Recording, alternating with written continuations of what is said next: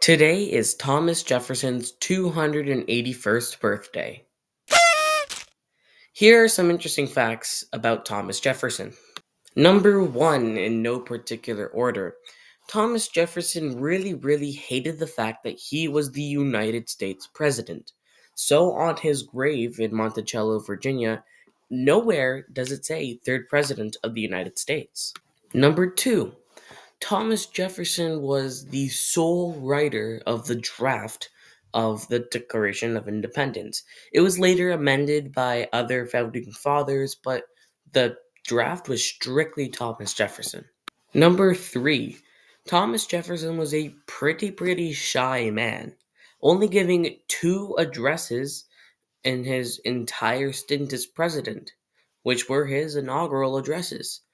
Number four, Thomas Jefferson and another founding father by the name of John Adams had a very, very, very close friendship up until about uh, maybe 10 years after the revolution ended when they ran right up against each other in the 1796 election, which Adams won and Jefferson became the vice president because of how the laws worked back then.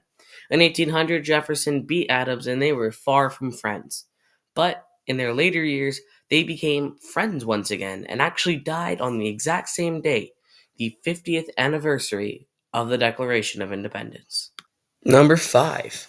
Thomas Jefferson is the first president to have multiple vice presidents, after ditching his first vice president, Aaron Burr, after him murdering Alexander Hamilton in a duel, which obviously is a no go for vice presidents.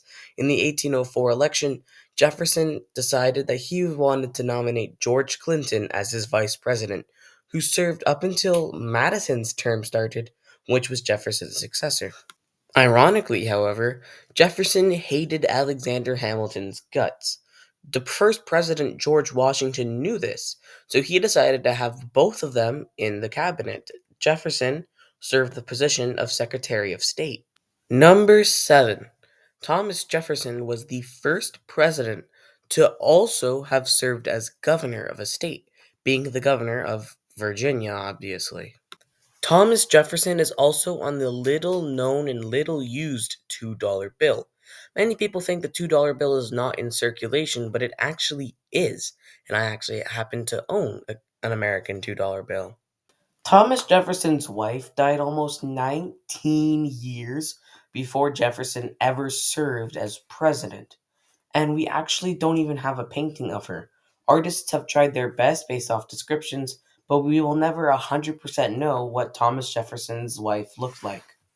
Thomas Jefferson had the most amount of slaves that any other president had, with 600 slaves owned by Thomas Jefferson.